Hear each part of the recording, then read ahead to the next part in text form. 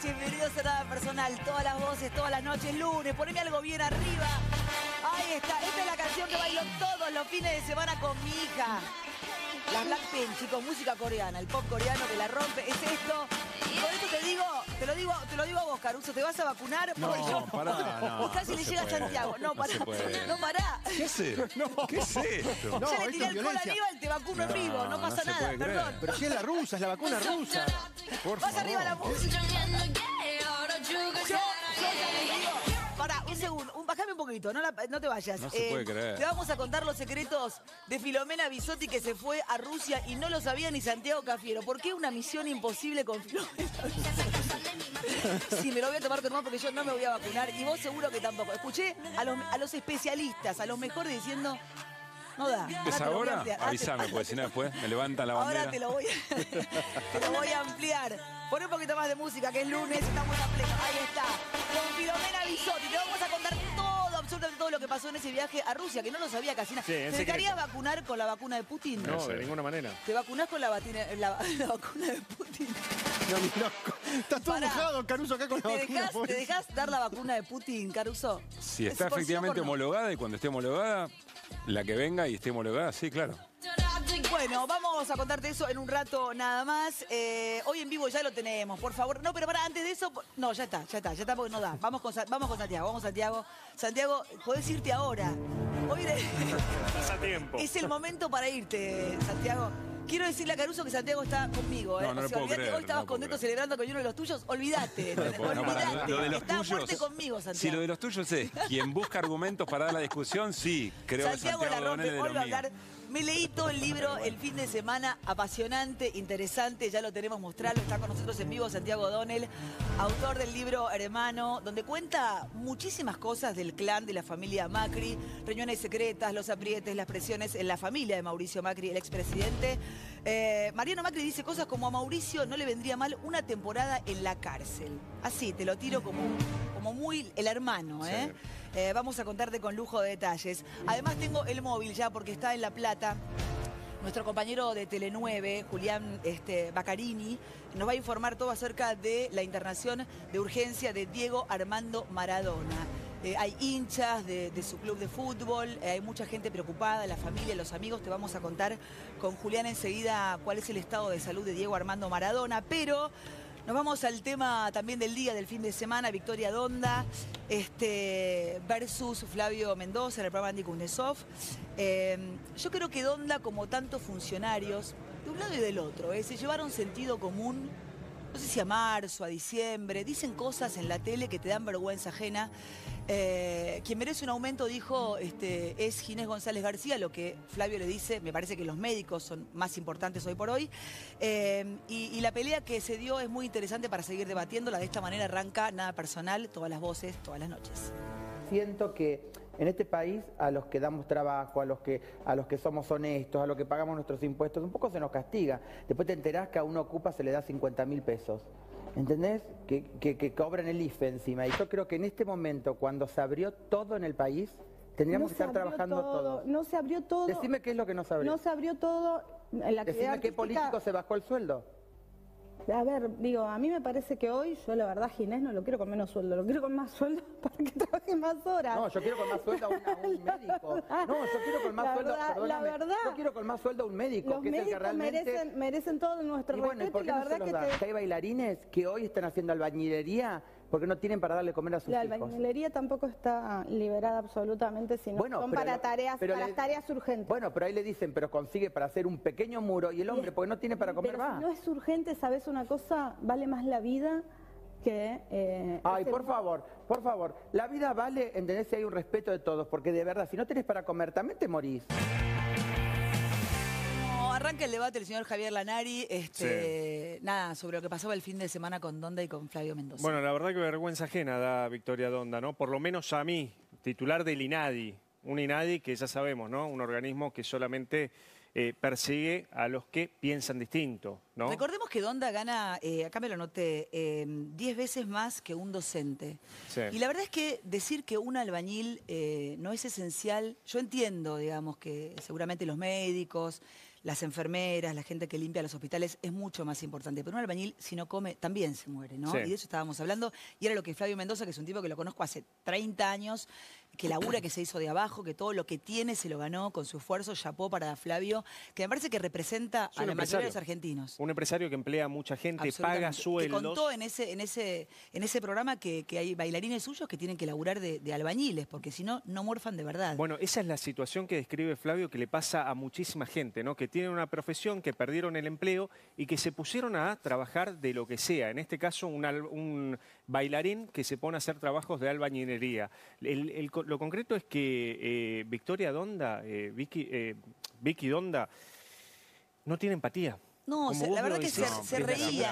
eso no se reía. No, se pero espera, vos no reía. entendiste bien el comentario. Dijo textualmente, el vale más la vida que E.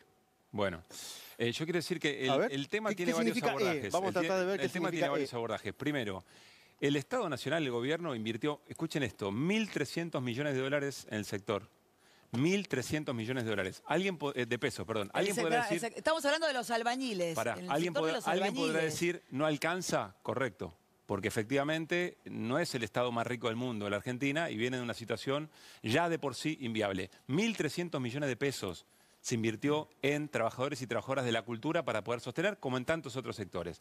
Después está en el medio el tema de la baja de sueldo de los dirigentes políticos. Yo de verdad les digo, o sea, discutámoslo si quieran, podemos hablar de lo ¿Qué simbólico. que discutamos? Podemos Ah, hablar de no lo te- no te simbólico, parece que, pero, para, pero para, para, ese pero más allá de la ideología, ¿no te parece de- que de está no mal lo que dice Donda? A mí me parece Ella que no gana se puede 300 comparar. lucas, por mí que gane un palo. O sea, no, no, no, le- yo- o sea, ¿Qué es lo que que está digo que no le que puede, no le puede lo que decir a. Flavio Mendoza como si no entendiera nada con una sonrisa socarrona. Lo que pasa es que se mezclan Pero la albañilería no es no, un no. trabajo esencial. Sí, Para vos, parece- flaca, que vos cobrás de- de- el 5 de cada mes porque sos una, una empleada del Estado. El Pero kirchnerismo espera, lo que que quiere reconocer... hacer es tratar, de- verdad te lo tratar de digo. generar Perdóname. que todos los trabajadores y trabajadoras estén lo mejor posible dentro de un Estado que tiene muchas dificultades. No, pero no como puede haber, tiene en no todo puede haber el mundo. funcionarios cero empáticos. No puede haber ¿Pero por qué funcionarios decís que sin cero? empatía. Porque ¿Por no qué tiene no tiene empatía. por Porque le No sé qué retrata tiene. la situación que le- vive un bailarín y Victoria Donda le dice Pero no se ese le está trabajo burlando, está prohibido. no se le está ese burlando, trabajo no. está pro- No se le Para está Victoria burlando. Donda Lo que cobra se está 300 discutiendo mil es si el pesos Estado por se mes, ocupa o no se Pablo. ocupa. 300 mil pesos por mes gana Victoria Donda. Es muy fácil hablar cuando vos tenés ese sueldo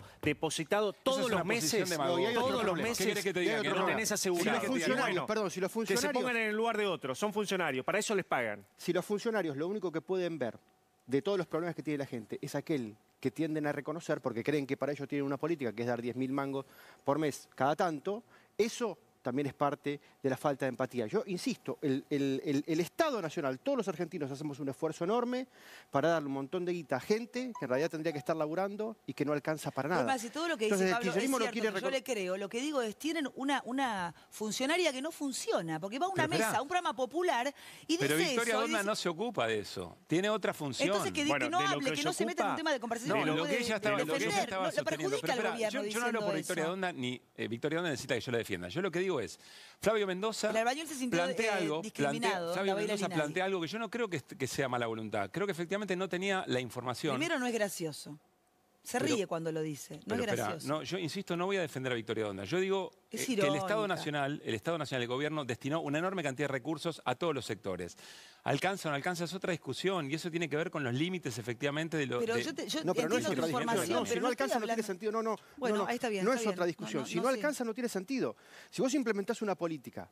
¿Pero de dónde saca los cancelás la recursos? economía. ¿Pero de dónde saca los Pero recursos? porque no, No es infinito, ¿eh? Pero, pero por supuesto. La manta es corta, por eso yo todos los días en este programa digo, hay que redistribuir la riqueza en la Argentina. empiecen por la de los Entonces, funcionarios, los que más Pablo. tienen, Empiecen por la de los funcionarios, de esa manera. El problema de eso, ¿sabes Vamos, cuál es, Javier? ¿cuánto se baja el sueldo de Y vos, pero no te escucho pedirle, no te escucho preguntar, eh, pedirle a Techín que deje de recibir Pero, los dividendos Pablo, que eso- recibe todos los años. no, Pablo, se no lo decís mismo, a Techín. no es lo mismo. No se lo ¿Sabés por qué decís Yo se lo digo, hola Techín, hola. Mañeto, yo se lo digo, pero ¿qué tiene que ver una cosa con la otra. No hacen el mismo esfuerzo? Porque en el fondo tiene un discurso de la antipolítica, chicos, reconozcan. Perdón, pero perdón, ¿y cuál es el, el discurso que tiene Victoria No, no, no, no, pará. No, no. Decís todo el tiempo que son una manga de inútiles. Sí, eso sí, son una manga de inútiles los últimos 80 años. Bueno, eso es un discurso antipolítica. ¿Quién te va a resolver? ¿Mañeto te va a resolver a vos? Pablo, el laburo que tiene que generar, dejate en broma. Pero de acá a Mañeto, porque porque es el establishment de la Argentina, es el sector económico, son los dirigentes del sector económico que nadie los vota, pero sin embargo condicionan la vida democrática en la Argentina. Y ustedes se la agarran con los Mira, lo que te digo es que, perdón, perdón, perdón, perdón. Eh, Victoria Donda cobra de nuestros impuestos. Creo que Mañeto no. Pero más allá de eso, que es no. bueno, más allá de que dónde saca la plata? Que De lo que compramos aparte, todos que no días. al caso Mañeto ahora, si querés De lo que pagás Cablevisión, de lo que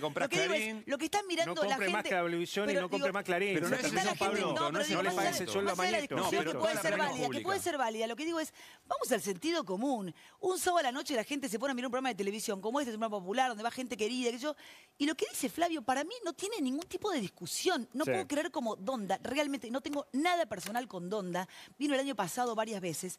No puedo creer que hable con esa ironía, con ese sarcasmo. Este, de un albañil, ¿sabes? Que, que no tiene un mango, lo que, peor? no puede morfar. ¿Sabes lo que fue peor? La semana pasada le preguntaron a Victoria Donda por Mauro Ledesma. ¿Saben quién es Mauro Ledesma? El que el chico de 22 años que se ahogó en Formosa queriendo ir a ver a su hija en el río Bermejo. ¿Saben lo que dijo Victoria Donda? Primero no sabía ni quién era. Mauro Ledesma. No tenía ni idea quién era. Y después dijo, bueno, les dejo un teléfono, un WhatsApp del INADI para que me pasen el reclamo. Es a esa funcionaria le estamos pagando 300 mil pesos por mes. Quiero aclarar una esto. vergüenza. Quiero aclarar esto. No es una si posición yo fuera albañil, en defensa. Me jodido un montón. No es una posición en defensa de Victoria Donda. No soy quien ni para defenderla ni ella necesita que yo la defienda. Yo lo que digo es lo que se estaba discutiendo ahí, que es a mí lo que más me interesa, la discusión de las políticas públicas, es que el gobierno nacional destina al sector de cultura 1.300 millones de pesos. Pero como dice, Puedes, no alcanza. Pero una enorme cantidad de cosas no alcanzan. Mi vida, 10.000 el dos meses tampoco alcanza.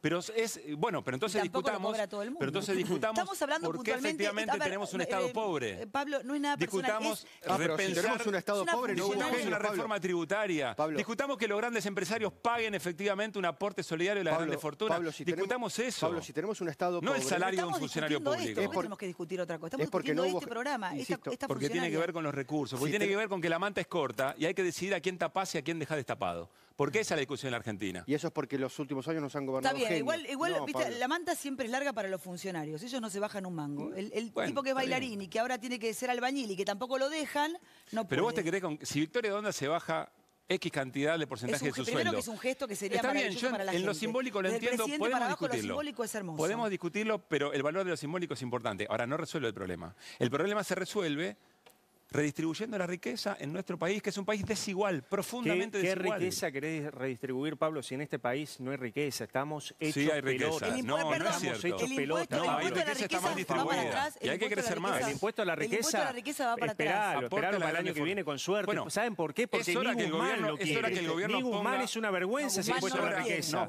No, va a ningún lado, Pablo. Porque genera el efecto contrario de lo que querés hacer. Eso decís bueno, ponelo, aplicalo. ¿Por qué no lo ponen? ¿Por qué no los sancionan. Es una muy buena pregunta. Ni Guzmán lo quiere sancionar. No, da no tanto cierto. asco no que ni Guzmán lo quiere sancionar. Eso es tan la discusión, ¿puedo? A ver, ¿puedo, sí. No, pero yo sí. reclamo, acompaña lo que dice Javier, ya te dejo, acompaña lo que dice Javier en otros términos. Creo que es hora que el gobierno definitivamente decida... que la hora de callarlo con un... No, pero con la vacuna rusa. Voy a eh, estar de acuerdo con Te Javier. clavo la vacuna pero rusa, cortala. No me amenaces, Canosa. No, no te amenazo, Salimos yo en la nación todos los días. Yo lo hago, yo lo hago, no amenazo, yo lo hago. Yo creo que, yo, que yo no soy Mariano Macri, yo, lo hago y lo hago. Para, él no está inmunizado. A mí no. Esa, vacuna a mí no. Santiago Donnell para, para, para pegarte a vos, Caruso, ¿entendés? Es que yo no entiendo. no, esa vacuna a mí no, ni, en broma. Ni en broma. Yo puedo entender el prejuicio ideológico y político respecto de la Unión Soviética que este, ganó la carrera espacial. Si en vez de Donda que ganó la Segunda Guerra Mundial. No entiendo el presidente. Era, onda, era Gabriela Michetti, se lo decía igual. Ahora, no, no me gusta que piensen lo, así. Lo que no puedo comprender es cómo niegan. Cómo, no, no, pero fue la que ganó la Segunda Guerra Mundial. Y, pero por eso le tienen prejuicio ideológico. Déjate de joder. Estamos tratando. Pablo, la Argentina está tratando de entrar a un bloque soviético que no existe más, ¿entendés? Estamos atrasados 50 años, campeón. Pero te estoy hablando de otra cosa. Ya está, nos vamos. Lo que no entiendo es el prejuicio respecto del desarrollo científico-tecnológico que tiene la Federación Lo que pasa, Pablo, que somos periodistas, nuestro trabajo periodístico es investigar, es cuestionarnos, es dudar. ¿Y cuál- y cuándo lo vas a hacer, Javier, en esta permitimos. mesa? La Unión Soviética Hacelo tiene vez, algunas boludo. razones que creo que nos pueden hacer dudar y por lo menos Te preguntar. está atacando, yo que vos me defiendo. No, a ver, eh, ¿dónde se hicieron las pruebas? En Venezuela y en Arabia Saudita, las, pruebas de la vacuna rusa. Si quieren, hablamos de eso. Si quieren, Sí, hablamos hablemos. sobre ¿Sabés lo que todo la cantidad de los pacientes que Llamar no se hicieron pruebas. Por favor. Entonces no nos hagan, no, no, no nos vamos a comprar un buzón de, de entrada porque hacen un anuncio. Y además hace unos meses hicieron un anuncio de AstraZeneca. ¿En qué quedó eso? ¿Quieren Eso que también confiemos? suma. ¿Quieren Eso que también? Cierra, cierra Jacobe, me voy. Prepárame el tape de los motines, por es, favor. tan de semana. es tan falaz la discusión sobre la redistribución que hay que hacer las cuentas. Si Nicolás del Caño fuera presidente de la Argentina y le sacara todo a todos y lo redistribuyera parejo, no seríamos un país de clase media, seríamos un país pobre. Lo un- la única salida es crecer y después redistribuir, porque si no vamos a seguir No, encerrados porque si vos- en la, pele- no. en la Basta, Caruso, discusión. Porque la torta puede ser grande, pero si la repartís tiempo, igual, Caruso. hay gente Ay, que se caga de hambre tiempo. igual. Dejate embromar. Caruso, el primero que le vamos a vacunar es a vos. Sí, pero cierra con esto, es una barbaridad con lo que a dar. Yo cierra. te doy la tuya y la mía. Cerrar el bloque así es una barbaridad. Eh, y lo de Donda es hermoso. ¿Sabes qué? Viste Sí. que Caruso, vos ves que este, este, blanco- este vaso, tiene, esta copa tiene agua y te dice que esa copa tiene vino. Y que ya no se puede arrancar una conversación con alguien que te dice que hay vino donde hay agua. Eso es Caruso. Eso es Donda, ¿entendés? Es muy difícil. Y Santiago Donel me está bancando, así que prepárate, Caruso. Me recontrabanca. asustado. Está asustado. No, me, Me me dijeron que no hable más. me ligaron todo, Me ahí dijeron que no está. Eh, nos vamos, enseguida conversamos con Santiago O'Donnell de esta, de, este- de esta, no- de esta entrevista que le hizo, varias entrevistas que le hizo a Mariano este, Macri. La verdad es que me lo devoré el fin de semana. Uno arranca despacito, despacito, despacito y te va atrapando mucho. Este, así que enseguida estamos conversando eh, con Santiago, que muy amablemente se vino en vivo a esta hora. Se agradece mucho. Eh, nos vamos a los motines el fin de semana en un montón de lugares. Unidad 13 de Junín, las unidades 21 y 41 de Campana, la unidad 40 de Lomas de Zamora y las unidades 23, 24, 31 y 42 de Florencio Varela, San Martín, La Plata, Junín, Campana, Lomas de Zamora y Florencio Varela. Impresionante. Motín en las cárceles. La barra reprimiendo. Lo único que nosotros queremos es una visita. Una visita a un beneficio. Nos prometieron visita, nos prometieron beneficios, nos prometieron arrestos. Y no nos dan nada. Esto es lo que pasa con el sistema penitenciario. Mirá cómo está el Cobani, mirá, mirá, mirá, mirá, mirá, mirá. Ya fue, ya fue, ya fue, ya fue. Largalo, largalo. Que se tome el palo, que se tome el palo.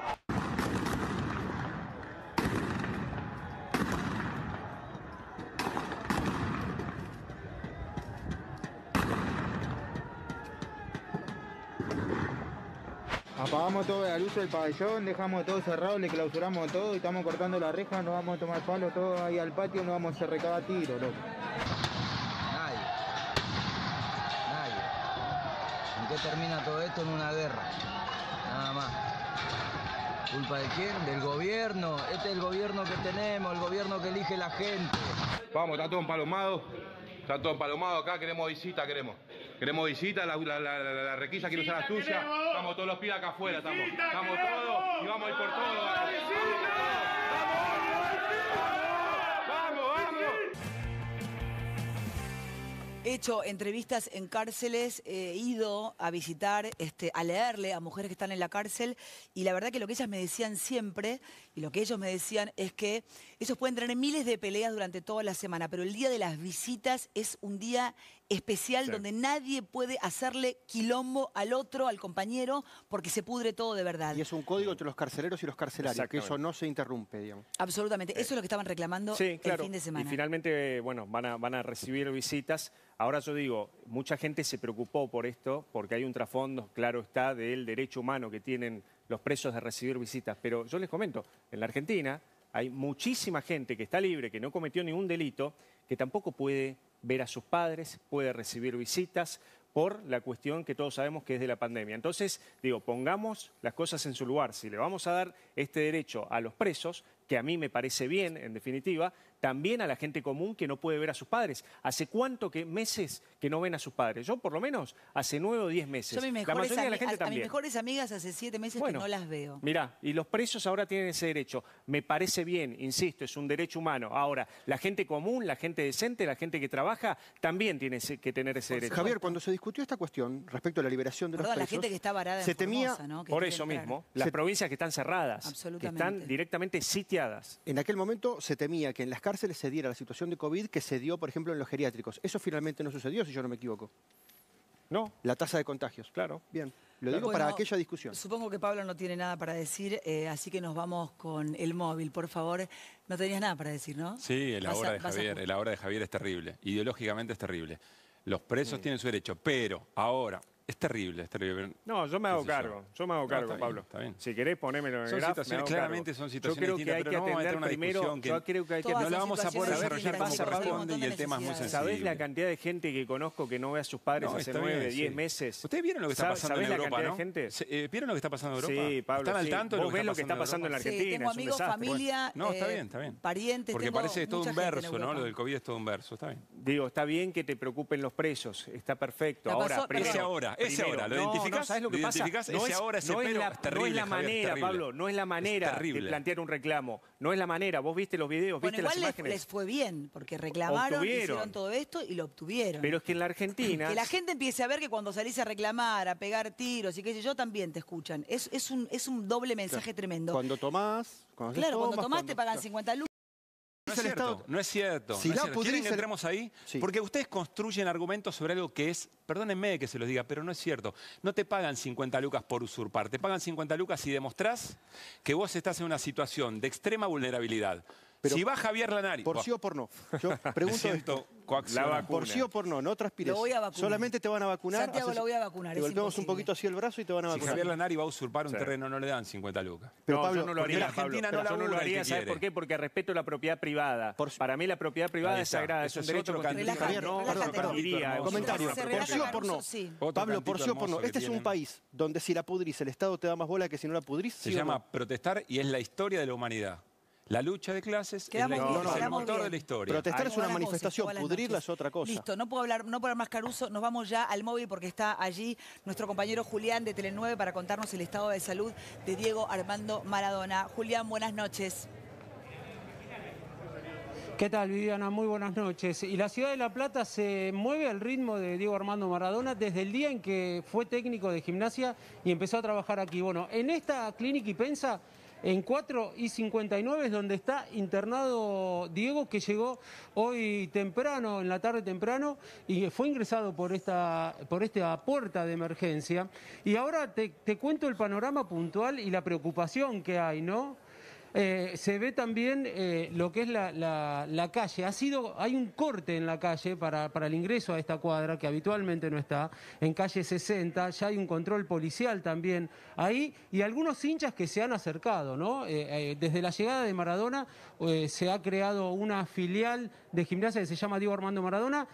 Y, Viviana, como te decía, ¿no? Esto que, que ha cambiado y que se mueve el ritmo de Diego, ¿por qué? Porque hace dos días atrás era todo sonrisa, era los 60 de Diego festejándolo, se le hizo, se restauró un mural, hicieron todos los festejos y hoy es preocupación. La, verdad es que está paralizada la ciudad esperando justamente por la salud de Diego. Bueno, hoy temprano estuvo el médico Leopoldo Luque, el médico personal de Diego Maradona, dijo que él lo- no lo veía bien, que, le había recomendado de empezar a hacerse algunos estudios de, y, hoy logró en algún punto eh, que, puedan venir aquí a la clínica. O por lo menos así lo relataba justamente Leopoldo Luque, el médico. Hay que tener en cuenta también, Viviana, que eh, a esta clínica y pensa, Diego ya había venido el 9 de septiembre, también se había hecho una serie de chequeos y que desde que es técnico de gimnasia hace muy poco que se mudó a un barrio muy cerca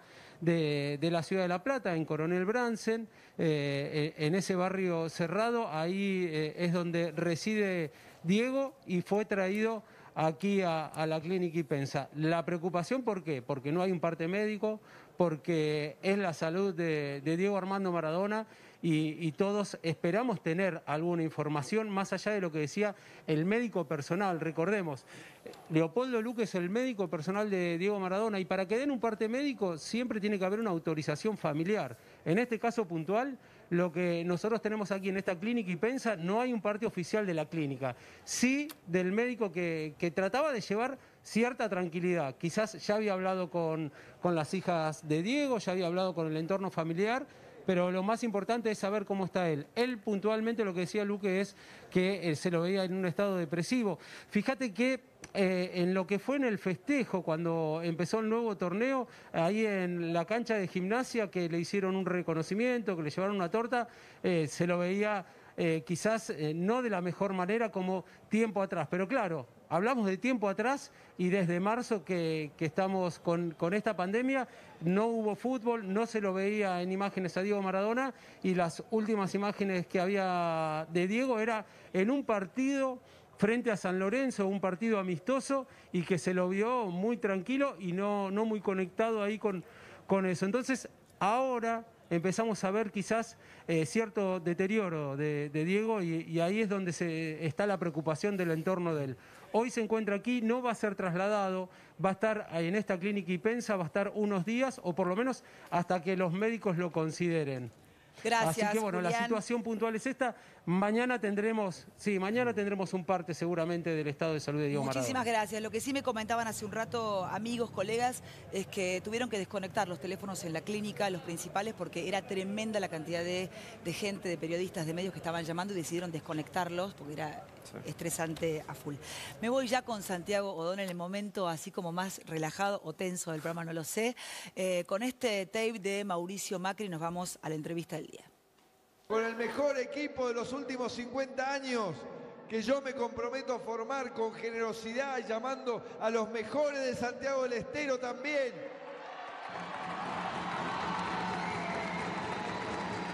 ¿Para qué? Para lograr una Argentina, una Argentina y una Santiago con pobreza cero, pobreza cero. El año que viene se va a volver a inundar, dentro de dos se va a volver a inundar, dentro de tres se va a volver a inundar y de cuatro no se inunda más, no se inunda más. Y veníamos bien, pero de golpe pasaron cosas, porque también el mundo está volátil. El peronismo está secuestrado por Cristina Fernández de Kirchner hace más de 10 años.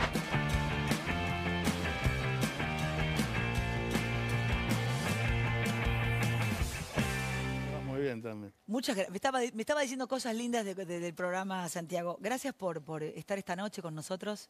Tengo un lindo equipo, pero son un poco intensos, ¿viste? Sí, pero yo creo que todos tienen razón lo que dicen. Todos tienen razón. Eh, Por eso por la dinámica del programa hace que discutan, pero Claro. en el fondo yo creo que hasta, hasta Pablo se da cuenta que... No, digo que no fue un momento muy afortunado de No, Donda. nunca, él la pasa horrible, y, pero nos y- y queremos. creo que todos este, coinciden que hay que distribuir el ingreso y, y que por ahí no es el momento, ¿no? que, hay que, que la prioridad es crecer. O sea, no, no veo... Estamos más cerca de lo que nos imaginamos. Sí, Los argentinos eso. en general. En Digo, general, ¿no? Capaz que hay menos grieta de la que pensamos que hay. ¿o no? Ojalá, o por lo menos veo que cuando hay gente con, con buena, buena intención, con, con buen corazón, me parece que sería bueno que nos tratemos por lo menos de entendernos, porque creo que hay mucho en que todos estamos de acuerdo. Yo no creo eso de que están todos los malos de un lado, que los del otro lado tienen toda la razón. Claro. Eh, y me parece que está bueno que también empecemos a discutir por temas, ¿viste?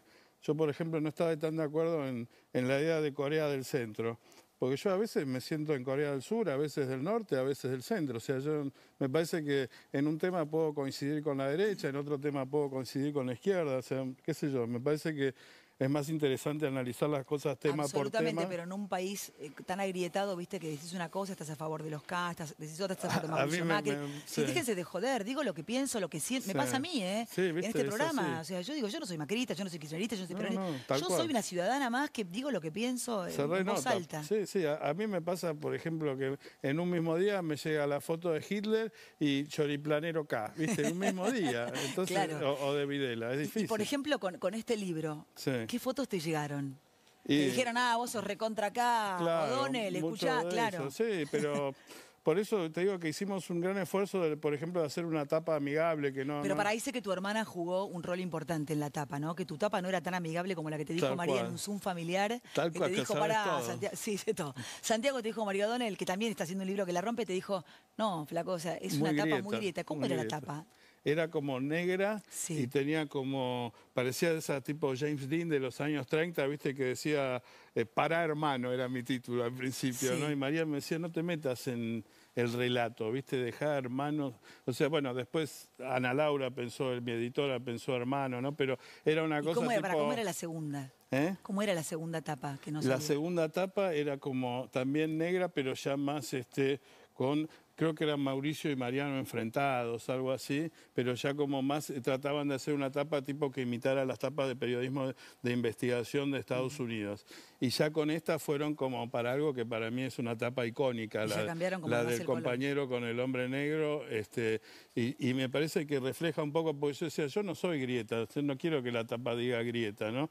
Y, y me parece que este libro como que también quería que sea una historia, o sea, que tenga un poco de, de- de investigación, pero también que tenga un poco de color, que cuente, que tenga imágenes, este, anécdotas. Yo cuando lo entrevistaba me decía, bueno, dijo tal cosa, bueno, ¿quién estaba en el cuarto? Ahora, antes de meternos en el libro, Dale. para la gente prejuiciosa que está mirando, Claro. si te hubiera llamado la hermana de Cristina Fernández de Kirchner o el hermano de Alberto, te tengo una historia, Santiago, no sabes lo que es mi hermano, no sé lo que es mi hermano, y, te- y ¿vas o no? ¿O esta te pareció interesante por algo en particular? No, por eso, si fuera igual de interesante que esto, yo no sé si lo que tiene para contar la hermana de Néstor o, O de o la de Cristina o, o el hijo de Alberto, no sé si, pero si es una historia interesante, Allá por vas. supuesto, no, no, no, no, no miro dónde caen las fichas, ¿no? Mm. Y algunas historias me traen muchos problemas y no me lee nadie y estoy muy orgulloso de haberlas hecho. Eh, de hecho, el libro que menos vendí es una biografía del CELS, que debe ser el libro del cual más orgulloso me siento. Eh, y bueno, entonces digo lo que tengo que decir y me parece importante, por ejemplo, que yo hable de organismos de derechos humanos estando en página 12, como cuando estaba en el diario La Nación, escribía sobre la 0600 de Susana Jiménez o interpelaba el poder económico, ¿no? Me parece que también es interesante desde qué lugar este, interpelás a qué corporaciones. Ujú. A ver, eh, vos decís que es un drama shakespeariano. Sí. Aparece el hermano de Mauricio Macri. Después de leer el libro, es una historia de amor, de odio, de venganza, de Sí. poder. No sé si de mujeres, no, no- no sé si también de mujeres. Yo creo que son muy protagonistas en el sentido de que muestran justamente, eh, eh, eh, creo que la impronta de Ni Una Menos está muy presente y permea todo el libro, porque me parece que hay un trato o un destrato hacia las mujeres de toda la familia. Eh, aunque también aclaro, a veces uno se fija en, en- en los casos, o sea, claramente las hijas de Macri no eran llevadas a la empresa, no, no participaban. Eh, yo creo que finalmente algo aprendió Franco Macri porque su última mujer, Nuria Quintela, sí fue muy protagonista, en la- fue la primera mujer de Franco Macri que lo acompaña en su trabajo y ella fue muy importante en todo el emprendimiento de China. Franco Macri en China. En China, totalmente. Pero sí, hay una historia de, de abuso, Ahora, pero Mariano. Sí, eh, es un hermano, aunque diga la verdad, sí. porque obviamente te contó la verdad, ¿es un hermano despechado? Y yo creo que es ahí, viste, entras en un tema semántico. Yo no usaría esa palabra, pero no te puedo, no tengo argumentos, digamos, no tengo el despechómetro, ¿no? Yo creo que el, el libro hay mucho dolor y hay mucho amor y también hay mucha bronca, pero yo creo que el sentimiento, si me preguntás a mí, que más está es el dolor. El dolor. Y también, y también me parece que hay mucho amor también por ahí abajo. Esa, esa imagen que decía que él, cuando era joven, se acuerda la foto de casamiento que él y Gianfranco se dejaban el bigotito y el flequillo porque querían ser como Mauricio y uno los veía ahí. Y él, para él, Mauricio era todo.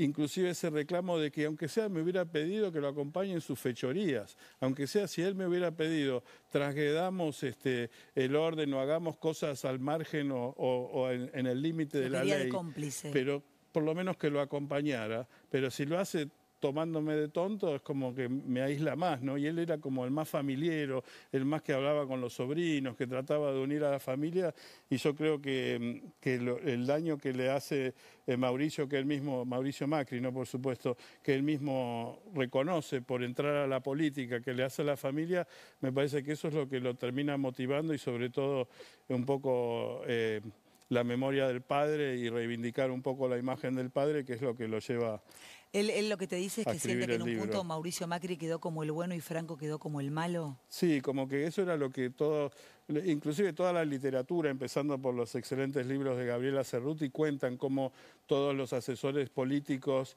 eh, de imagen y de comunicaciones, ¿no? acá tenés uno excelente, eh, le aconsejaban a, a- a Mauricio Macri, eh, digamos, crear esta narrativa para que sea más digerible para sus socios de alianza, de que el padre era lo viejo, que él era lo nuevo, que el padre era la mafia, que él era el transparente, que el padre era el de los negocios con el ¿Eran de Estado, que él era el- ¿Los calabreses eran de la, son de la mafia?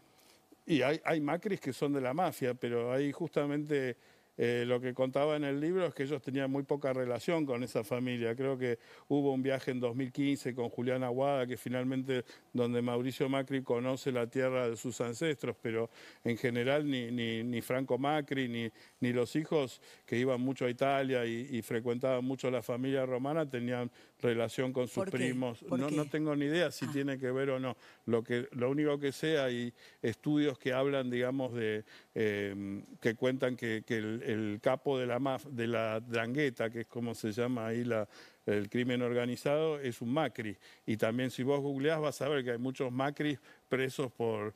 Pero bueno, es como decir López O'Donnell en, en Irlanda, es como en Chicago o en, o en- o en Inglaterra, es como el policía, hay 10 mil millones, de- es como López acá o Pérez. Entonces tampoco puedo decir que ellos vienen directamente, pero claramente que conocen, digamos, eh, o por lo menos Franco y, y su hermano Tonino conocen esa tierra, conocen esos modos y, y también, digamos, por el lado del abuelo de Macri también había sido ministro de Mussolini, así que también conoce mucho de lo que es el poder, las relaciones con la iglesia, con, con distintos sectores corporativos. ¿Por qué te elige Mariano Macri a vos? ¿De dónde te conocía? Y él me conocía cuando yo trabajaba en Los Angeles Times y él estaba haciendo una Perdón, maestría en Washington. Los Ángeles Times. Este, Sos un grosso, Santiago. Ah, vos. Sos un grosso. Vos. No, serio. Sos un grosso. Eh, no, pero ¿cómo te elige a vos? ¿Por qué te elige? Porque te digo. ¿hizo terapia alguna vez o no hizo terapia Sí, nunca? Porque uno dice, este pibe no hizo terapia, sí, se hizo mucha terapia. muchísimo. Pero, Eh, en embargo- el libro cuenta, ¿te acordás que en un momento lo cita al padre en lo del psiquiatra? Porque dice, nunca me escuchó en mi vida. Y, Pero- y si no... ¿Y, y- y por qué el libro? ¿Por qué te busca? ¿Por qué él quiere dejar digo. plasmado en un libro todo lo que siente, Primero lo que, que, le él, viste, a uno te dicen, ¿por qué no fue a la justicia? Y él fue a la justicia. Lo que pasa es que nunca nos enteramos. O sea, creo que una de las grandes revelaciones del libro es justamente todas las causas judiciales y también en la comisión de valores que él le hace a- al grupo Macri, a los presuntos testaferros de Mauricio Macri, que son sus hijos y su hermano, ¿no? Entonces él va a la justicia, él lleva muchísimos años tratando de dialogar con él. Ahí en el libro se habla de muchas reuniones que no le van nada bien con Mauricio Macri. Llega un momento de hastío. Eh, ya te digo, yo lo había entrevistado a él en 1995 para la revista Newsweek. Ay, yo, güey. Eh, no, en serio, sí. este, habíamos, Nunca un eh, paparazzi vos, ¿eh? Nunca no, una revista por ahora, pronto. Por ahora, viste, vamos por ahí. entonces- Eh, y entonces este, me conocía de ahí, este, y, y es muy amigo de mi hermano. lo- tiene- aunque se ven una o dos veces por año nomás, se tiene muchísimo cariño, y, y me parece que obviamente conocía, él dice, yo conocía a tu familia, sabe quién es María, por supuesto. Y, y me parece que él sabía que yo no me iba a echar atrás, ¿viste? Que yo no, no, no me iba a vender, ¿viste? El otro día veía ahí en Intratables a un periodista que decía cómo habían parado muchas fotos de los Macri poniendo plata y demás. Y yo creo que él sabía que, que yo eh, no... No ibas a se- transar. No iba a transar. Yo creo que eso era muy importante para él. Y después lo que te quería contar, porque nunca lo conté y era interesante, la estructura del libro, ¿viste? Porque esto que vos decís que se leía menos, es un gran acierto de mi editora, Ana Laura Pérez, que ella, yo al principio pensaba en una pelea de catch, ¿viste? Pensaba en Roland Barthes y, y la lucha libre, ¿no? Entonces iba a ser todos los personajes y después que todos lo iba a meter a pelearse en el ring, que era la empresa. Esa era mi idea original. Y cuando lo lean a Laura, dice, esto sabe que toda la parte como más de familia y después viene toda la parte empresa que es media pesada. ¿Por qué no intercalas un Claro. poco? Entonces, el libro tiene un capítulo más divertido por ahí de la familia, otro más investigativo, totalmente. otro más de... Entonces, eso fue como armé el libro. Ahora, él te manda una carta documento después a vos y a la editorial porque eso se vive como una estrategia por parte de él. Onda, ya tiramos todo, me hago el que ahora estoy preocupado. Y yo conociéndolo hoy y viendo lo inteligente que es, no me sorprendería para nada, ¿viste? Porque ya te digo, después él estuvo en casa, siguió revisando el libro, este, seguimos charlando. eh, ¿Qué fue lo que más te impactó de lo que te contó el hermano de Mauricio? Lo que más te impactó a vos. A mí, ¿qué fue lo que más me impactó? Yo creo que ya al principio, cuando me dijo como que él seguía haciendo negocios, desde, el- desde, la, Casa Blanca, desde la Casa Blanca, el Rosada, y- y desde la jefatura de gobierno, ¿no? Porque que lo haga desde Boca tampoco me parecía tan loco, ¿no? Pero digo, un tipo que públicamente dice, yo voy a poner todo mi dinero en un pozo ciego y me voy a dedicar a la política. Y te diría que algo que me impactó mucho, inclusive más que del libro, fue algo que escuché de- del gran periodista Rodis Recal de la revista Noticias, que entrevista a los, los jefes máximos de, de después de, ya salió el adelanto de mi libro, creo, o estaba a punto de salir, o sea, hace 10 días nomás, los mismos jefes de SOCMA decían prácticamente que Mauricio Macri no tenía nada que ver con la empresa. O sea, o sea, me parece que si hay algo que demuestra el libro que Mauricio Macri no solo maneja la empresa, sino que la maneja con puño de hierro. Entonces, que porque el hecho de que no tiene ninguna opción y porque el hecho de que actúa a través de interpósitas personas, que hasta el día de hoy los mismos máximos funcionarios de- del grupo empresarial, tal vez por porque no les queda otra, pero que sigan diciendo que Macri prácticamente lo conocen por las fotos nomás, me parece muy llamativo. Eso fue lo que más te impactó a vos. No sé si lo más, pero sí, me parece que cómo él seguía haciendo negocios desde el Estado. Eh, contarle a la gente este, que está mirándote qué es lo que más compromete a Mauricio Macri.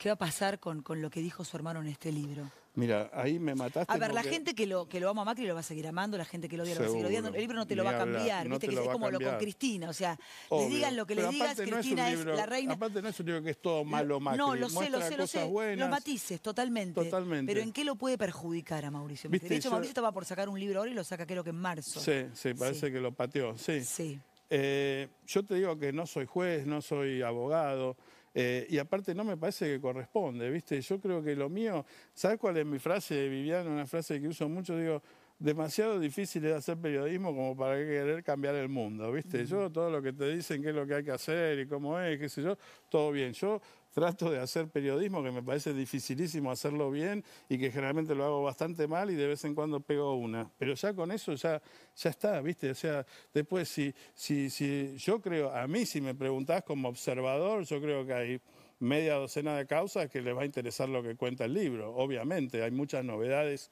desde el punto de vista periodístico. Ahora, cómo se traducen en lo judicial, creo que tiene que ver, por un lado, qué, delitos cometió o no, y que eso lo debería investigar la justicia, más allá de los indicios fuertes que pueda tener el libro, y por otro lado, quién maneja la justicia, o si los jueces son independientes, o, o si el tan proclamado poder que tiene el expresidente y la mesa judicial en un sector importante de la justicia entra en juego o no. ¿Quién es Mariano Macri? Yo creo que es primero un empresario importante, pero un tipo muy sensible, ¿viste? Que, que se la jugó porque pensó que no tenía nada que perder.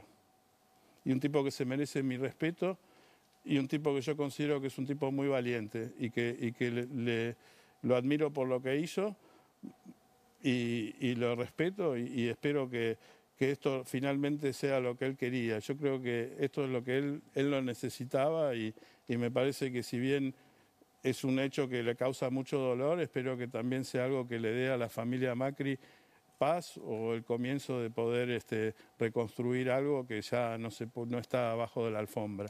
Contanos la reunión que tiene él eh, con Mauricio Macri, con su hermano en su casa en Acasuso, el primer día que comienza la cuarentena. Y bueno, ahí ya no quiero spoilear mucho. Es un poco el. Y yo siento que él viene al día siguiente como, como- como muy como insatisfecho, muy como que necesitaba, como que me buscó de una manera más vehemente, te diría, que en otras ocasiones. E- Era un momento en que ya est- estaba casi prohibido salir y nos encontramos en un lugar desierto porque él me necesita hablar. Había estado el día anterior con su hermano, había tenido una larga reunión que relato en el libro y no le había vuelto a nada. Había mirado, le había hablado, había tratado de llegar a su corazón, había tratado de explicarle y había lo que le había vuelto era el mismo Mauricio Macri que no sabe nada, que nunca se enteró, que no tiene ni idea, que le pregunten a otro, que no tiene nada que ver, que por ahí tendría que haberse ocupado y no se dio cuenta. O sea, un Mauricio Macri que le sonaba hueco, que le sonaba como que no, no podía conectar. Y ese gran dolor me parece que él lo hace convocarme porque necesitaba gritarle no a mi grabador o a mí, a toda la Argentina, que este desgraciado no podía, no le entraba una y no era imposible llegar a él desde el punto de vista humano. Y por eso me parece que tiene una actitud tan que a mí me sorprende, que se le empieza como a gritar al micrófono, pero Mauricio, ¿no te das cuenta? ¿No te das cuenta que mi hijo se estaba muriendo de cáncer y no, no, no me dabas plata y le tenía que pedir a mi primo, ¿viste? O sea, como que necesitaba sacárselo de adentro y, y por eso me parece que este no es un tema económico, como tratan de decir algunos voceros, y, y, los entiendo, y está muy bien que traten de usar esa narrativa, pero es algo que vos captaste enseguida y muy bien, que es, es un drama familiar, un drama muy triste, ¿no? En un punto. Uh -huh. eh, trataba de imaginarme, lo habré visto dos veces en mi vida, en algún evento, no, no, no, no lo conozco. Sí recuerdo en su momento su divorcio eh, de su mujer, que fue muy escandaloso, que hubo todo un tema. Era un matrimonio casi perfecto, y cuando se separan, creo que en China, fue como en ese momento, para la, para la farándula había sido como la noticia, porque eran eh, un matrimonio casi impecable de muchísimos años y con una familia muy linda. ¿Cuántas entrevistas tuviste con él? ¿En, en, en cuántas entrevistas sacaste el libro? Y además te pregunto si, si es más lo que cayó que lo que te contó. Mira, primero está lo que cayó, sí. que estoy seguro que es mucho. Y después está lo que sacamos del libro, que también es muchísimo. Porque había algunas cosas que él me pidió no, no, involucrar a ciertas personas que por ahí no hacían a la esencia de lo que estaba contando y podían causar un daño eh, familiar o demás, este, algunas anécdotas familiares para ahorrarle un, un, disgusto a la madre que también sacamos. O sea... Ah, sacaste, sacaste algunas sí, cosas. Muchas, varias cosas. Algunas que él la me mamá y qué otras cosas. No, de, por ejemplo, hay un caso de un suicidio, de, de, saqué todo un capítulo porque dijimos, bueno, no, no queremos causarle dolor a los familiares de esta persona. Pensamos que podemos contar cómo es la personalidad del presidente Macri sin, sin utilizar ese, ese, porque yo no quería tampoco morbo, no quiero morbo en el libro, no quería que nadie lo lea por morbo, entonces cosas que por ahí podían ser demasiado, eh, no sé, violentas, groseras, misóginas, hay cosas que directamente las la sacamos del libro, casi te diría por una cuestión de buen gusto, ¿no? No, no, no, no, no era la intención, y aparte me parece que no hace falta, que el relato es fascinante así como es, ¿no? Y, y sí, sí, igual si es real, digo, va en la ética de cada uno o en el buen gusto de cada uno, pero si es real es la historia de alguien, ¿no? Seguro. Pero seguro. Debe, ser, debe ser difícil. Además, teniendo en cuenta que es el expresidente, no habrá sido fácil. Por eso, y te digo, lo está exponiendo tanto, de algún modo, al contar, bueno, no, él lo, él lo eligió, ¿no? No es que yo lo estoy exponiendo, pero de alguna manera me sentía responsable de cuidarlo. Entonces, en el libro traté de cuidarlo, por supuesto.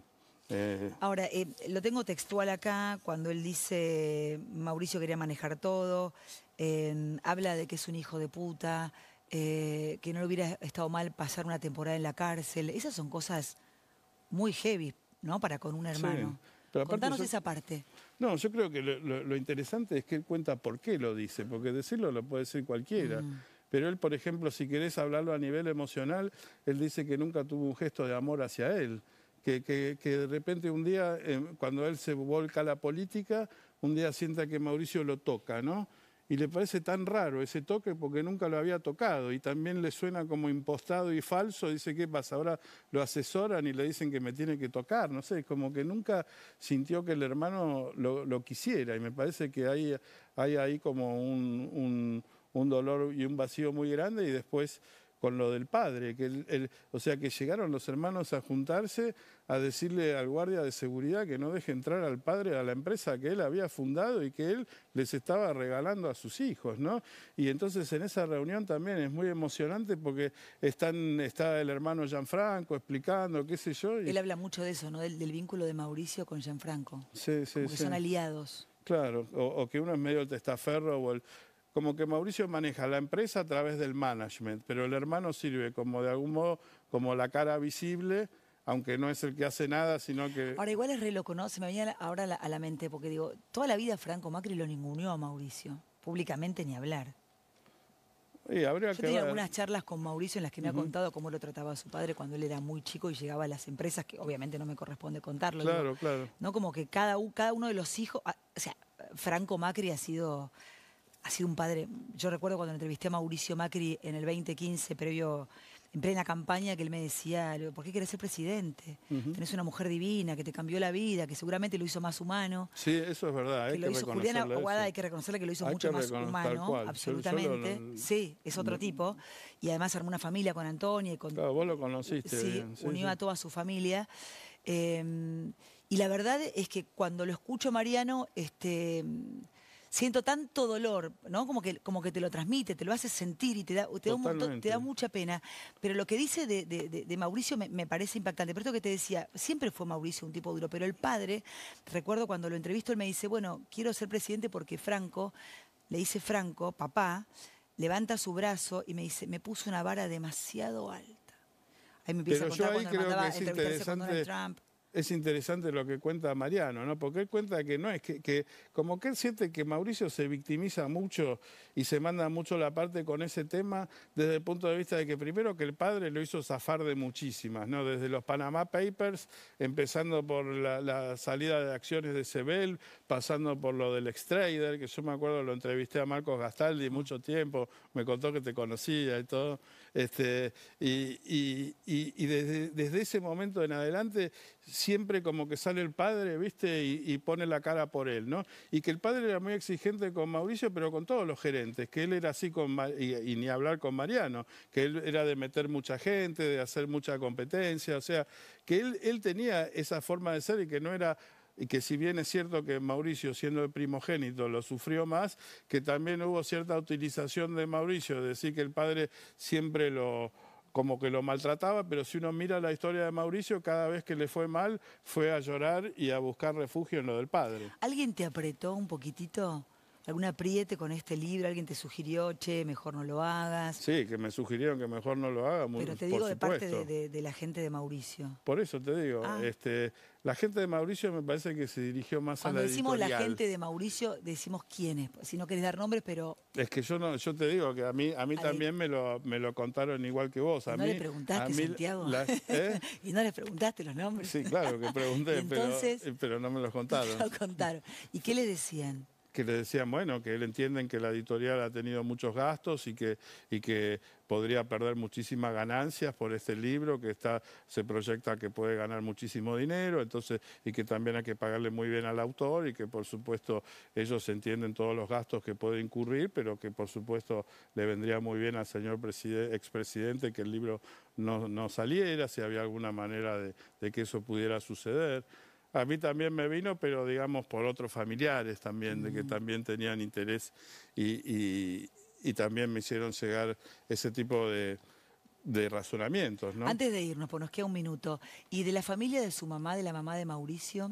El tío este, materno. Contanos un poco, no sé, en un minuto, esa otra parte de Mauricio. Que es fascinante la historia de que es el único sobrino que hereda de su tío, a quien Mariano considera que es el gran testaferro. Cuando se, muere el tío, teniendo una esposa y una hija, la mitad de la herencia, en vez de ir a su familia, va a Mauricio y es el único sobrino que hereda. Entonces, la gran sospecha y lo que le contó un psiquiatra en un viaje a Franco es que era una parte de reconocerle un dinero que él tenía como testaferro y que la esposa de Blanco Villegas al principio se negaba a entregarle. Bueno, nos vamos. Santiago, un placer. Muchísimas gracias por haber venido. ¿eh? muchas gracias por invitarme. Por favor, un placer. Nos vamos, ya venimos, no te vayas.